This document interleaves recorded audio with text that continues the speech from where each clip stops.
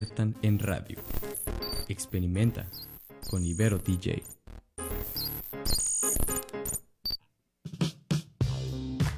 Pues ya estamos de regreso aquí en Esquina del Cine por Ibero TJ Radio. Yo soy Cuauhtémoc Ruelas. Y yo soy Miki Brijandes. Seguimos discutiendo sobre Star Wars fuera del aire porque ya viene Van a el decir la gente, están mejores las discusiones fuera del aire que las Y aire, no ¿no? escuchamos nada, ¿no?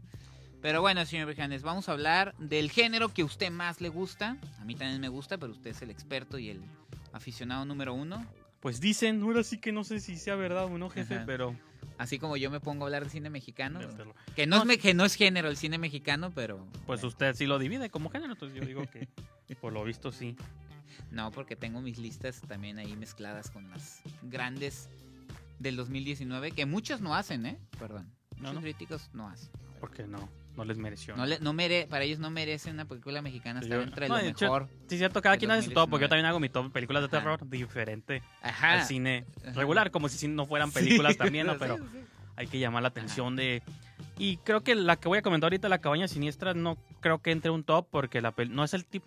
A pesar de que, como dices tú, me gusta mucho el cine de género, hay como un cierto género que no me gusta tanto, que es como... Es terror psicológico. Y no es que, digo, no quiero generalizar porque puede haber excepciones, como en todo, pero ese tipo de películas que te dejan todo como muy a la interpretación. Incluso la, la protagonista es la actriz esta Riley Keough, que también salió en la de Viene de Noche, que fue esta película que tampoco me gustó porque tienen como estas vibras de que interpreta tú como quieras interpretar. Y eran como una familia que creo que hospedaban como Sí, unos sí, sí. No, visitantes. es que cuando dijiste las tinieblas ya me acordé porque las tinieblas... Es igual, es el mismo plot, de hecho. Y esta... Pero salían al mismo tiempo, ¿eh? Aguas. No, sí, no, no, hay ahí- coincidencias. Ahí nadie plagió a nadie, no, no, fueron no. coincidencias cósmicas. sí. Esta es una que salió dos años después o un año después, pero también va como en esa vena, pues se supone. Y el planteamiento está suave, sale Alicia Silverstone, sale poquito, pero sale. Se supone que es una pareja separada, tipo historia de un matrimonio, pero es que salía en la del Siervo Sagrado, ¿te acuerdas? Salió Sí. un poquito también. Sí, sí, sí. Es un rol similar, pues, de que es una pareja que están separados, no se han divorciado oficialmente, pero están separados, ¿no? Entonces, pero se comparten a los hijos, que uno es Jaden Martell y la niña no me acuerdo, ¿no?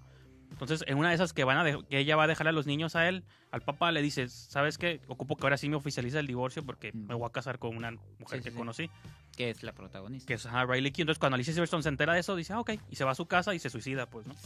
Entonces, Lo sienten culpable. Ah, lo- entonces, No. sí, o sea, los niños creen que es sí, como culpable, consecuencia, pues. pero no creen que es culpable él, sino la otra, pues y de entrada no tiene una buena relación con ella. Nunca la, no la, no dejan, la, porque la mamá no dejaba que les hablaran, porque ella fue la única sobreviviente de una masacre en un culto hace cuando ella era niña, Sí. como estos cultos de suicidio, esos que son muy famosos. Ella dicen que fue la única sobreviviente y su papá era el líder de ese culto, Mm. pues entonces está interesante eso. cuando ella pues crece, obviamente pues ya tratando de Sí. una vida normal, se alejó mucho de la religión ella porque su culto era como Sí, sí, usaba la religión para como crearte otras cosas, pues, ¿no? Entonces, él, pues ella, entonces ella tiene una relación con el papá, él se le ocurre que para pasar la Navidad se vayan a una cabaña que tienen en la nieve y pues sirve que los cuatro se con bueno, el papá ya los conoce a sus hijos, pero para que los tres se conozcan, sí, pues sí, los dos niños, sus dos hijos y a la nueva, pues, ¿no? Pero los niños pues la ven mal a ella y aparte Alicia Silverstone, yo me he dado cuenta, se parece mucho a la actriz esa, tienen como ¿A rasgos muy similares, como tipo de caritas cachetonas, así, entonces Ajá, ajá. Y como hasta lo ves como un complejo el señor que se busca puras mujeres iguales, ¿no? Y los niños también como que la ven como se parece a nuestra mamá. ¿por qué? Y aparte ese juego de identidad que lo hicieron en su película anterior, ¿te acuerdas? La de Buenas noches, mamá. Sí, ah, bueno, es de los codirectores, que ahorita iba a sacar los nombres porque no me los... Verónica. Verónica Franz Ajá. y Severin Fiala, que Severin suena a nombre de mujer, Sí. pero es hombre. Este, Verónica, pues sí, son... Y participó en una antología también que salió el año pasado, que se llama Las caras del terror, algo así. Que no la he visto, pero ellos Son son... suecos ellos, ¿no? Sí. Entonces, es. Y la película está raro porque está producida por la Hammer, ¿se acuerdan? Esta icónica Sí. este, productora británica que hizo películas de Drácula en los Ujú. 70s, cosas así. Y en Estados Unidos sale hasta febrero del próximo año. ¿En tipo serio? como Clímax, que se estrenó primero en Latinoamérica y en otros Sí, sí, países. cierto. y luego la aventaron allá. Sí, sí, sí. Clímax la salió aquí primero, luego la aventaron en Estados Unidos dos meses Y a después. suceder igual con esta. Esta salió ahorita aquí en Navidad. Bueno, en esas fechas porque sí queda, porque todo se ubica en Navidad.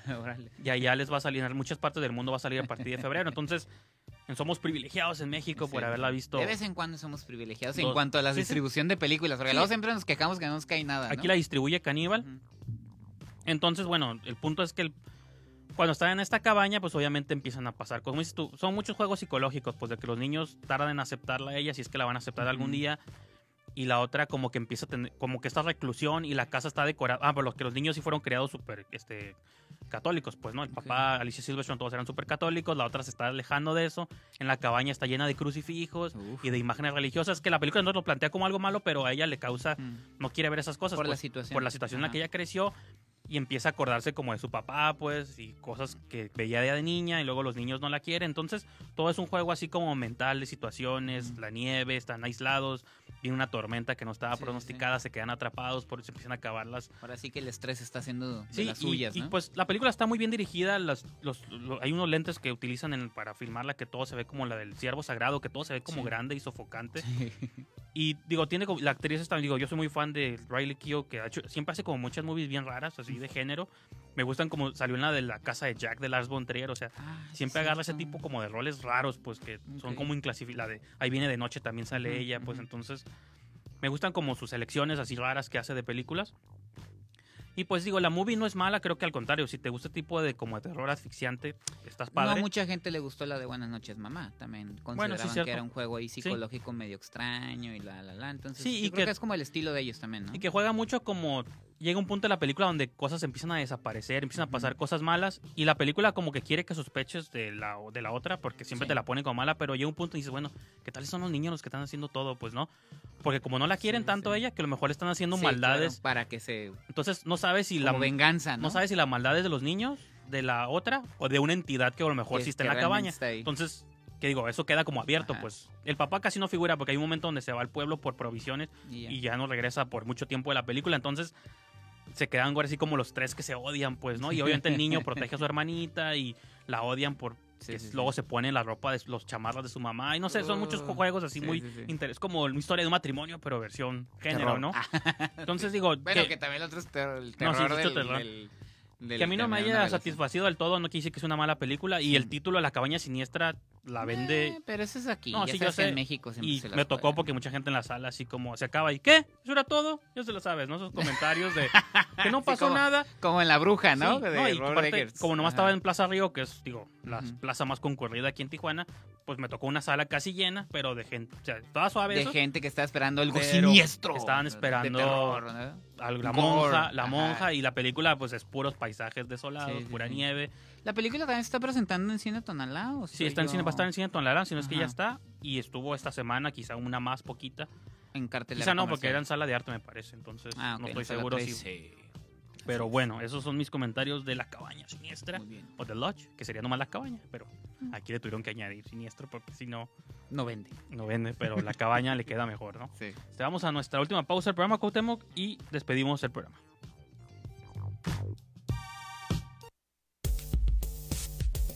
En esta frecuencia suenan todas las voces. Ibero DJ Radio es la alternativa. Pues ya estamos de regreso en Esquina del Cine por Iberotilla y Radio. Yo soy Cuauhtémoc Ruelas. Yo soy Miki Vijandes. Ya para despedirnos, señor Brijandes, y este solicitarle a los radioescuchas que ingresen a la estación oficial, no nada más para escuchar Esquina del Cine, sino toda la programación de Ibero TJ Radio, que es www.iberotj.fm. Nos pueden escuchar también en streaming, en radio.net, la aplicación, se me olvidó mencionarlo al principio.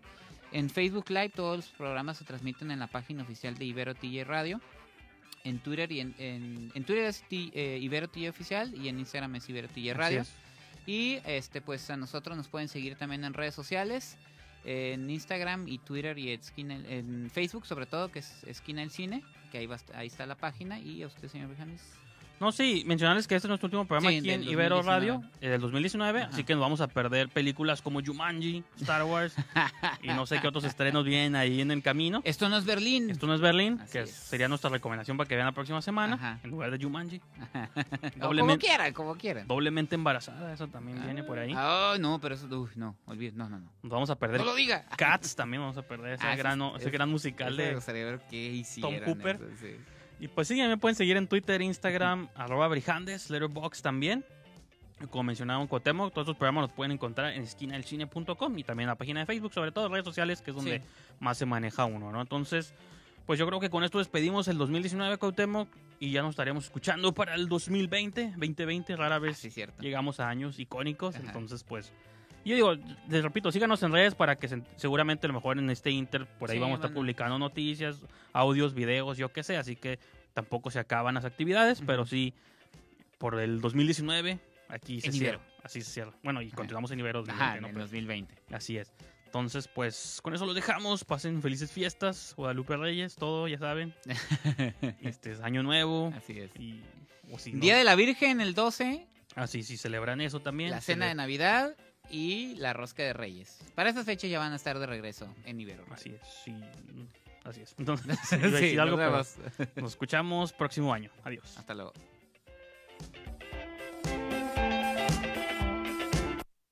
Corte y queda. Nos escuchamos en la próxima emisión aquí en la esquina del cine, solo por Ibero TJ. Y aprendes esto, Chenchito. Mientras cómanos, ámenos y bébanos, aunque no trabajenos. Ibero TJ Radio.